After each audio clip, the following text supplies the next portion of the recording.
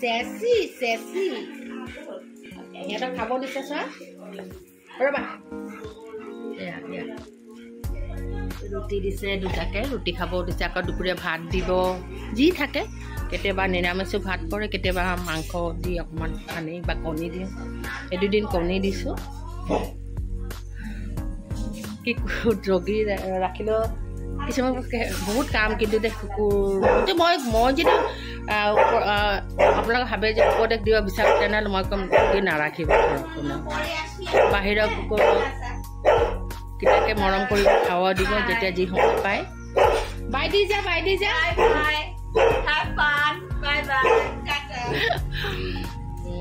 তো মইতো কম নাৰাখিব কাৰণ এজন দগীৰ লগত বহুত বহুত লাগি থাকিব লাগে বহুত লাগি থাকিব লাগে। তো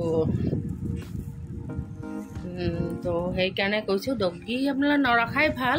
কিছুমানে খুব ইচ্ছা যায় ন ৰাখিবলৈ কিন্তু ইচ্ছা আৰু যেতিয়া নিজে কৰিব তেতিয়াহে বুজি পাব মানে বস্তুটো। আৰু যাৰ যাৰ আছে সেইটো অলৰেডি বুজি পাইছে মই কোৱা কথা কথাখিনি। পইচাটো পইচাই। দেখ ভাল কৰা খোৱা মেলা ডক্টৰৰ ওচৰত নিয়া লৈ যোৱা লৈ যোৱা কেৰিং চাৰ্জ এইবিলাকতো মই বাদেই দিলোঁ। ক'তো যাব নোৱাৰে আপুনি সেইকেইটাক সেই ক্ৰেচাৰত থ'ব লাগিব নহ'লে ক'ৰবাত থ'ব লাগিব পইচা দি। সেইটোতো আছে আৰু বেয়াও লাগে।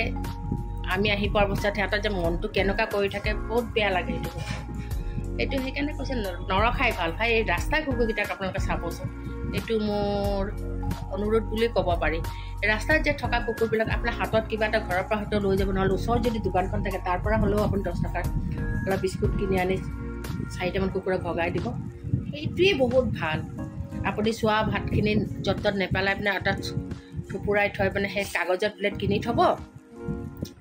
তো আপুনি ৰাস্তাটোতে আপোনাৰ দুৱাৰমুখৰ পৰা কিনাৰ কোনোফালে আচুতীয়া জেগাত আপুনি কুকুৰকেইটাক ৰাস্তাৰ কুকুৰকেইটাক দিবচোন বহুত পুণ্যৰ কাম এইটো আৰু লগতে কি ক'ম আৰু এইটো ইয়াতকৈ ভাল। কাম হয়তো ইমান সহজতে ভাল কামৰ ভিতৰত এটা ক'ব পাৰি। তো সেয়ে ক'লোঁ মানে ঘৰত কুকুৰ নৰখাই ভাল। আৰু আপুনি কি ভাবিছে? ৰাস্তা কুকুৰকেইটাত যে আপুনি খোৱা দিব ন চোৱা ভাতখিনিকেই দিব ঘৰত আপোনাক ঘৰ ৰখি দিব সিহঁতে আপুনি ক'ৰবাত গ'লে জানে? মই এনেকৈ ৰাখিছিলোঁ নাম আছিল মাইলো। সি এতিয়া অসুখ হয় এই যে পাৰ্বো নে কি এটা বেমাৰ হৈছিল না তেতিয়াকো তেতিয়া আৰু বয়সো হৈছিল তেতিয়া মৰিলে আৰু আজি হ'ল পাঁচ বছৰ। তো এইকেইটাৰ বয়স চাৰে আঠ বছৰ। পোৱালি ফ'ৰ ফৰ্টি ফাইভ ডেজৰ পোৱালি থাকোঁতে কিনি অনা হৈছে মোৰ মিষ্টাৰে কিনি আনিছিলে।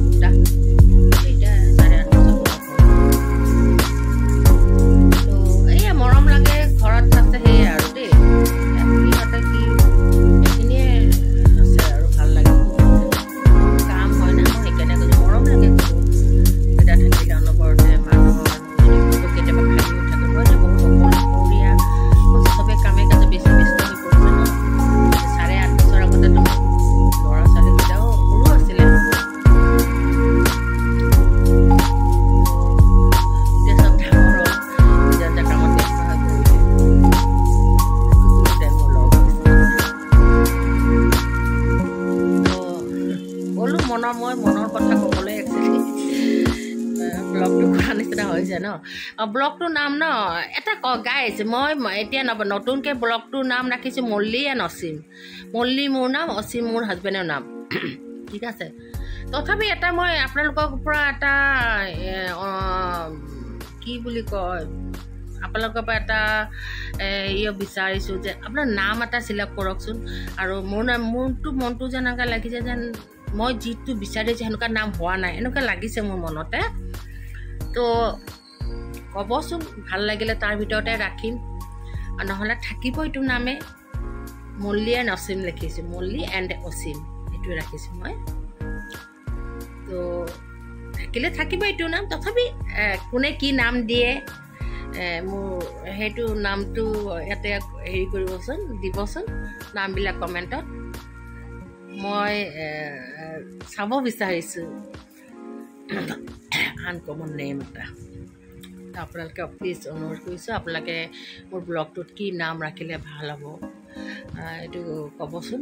বা এই নামটো হোৱাইছে কি নহয় মানে মোৰ মই ঠিক ৰাখিছোঁ কি নহয় এইটোও ক'ব পাৰে।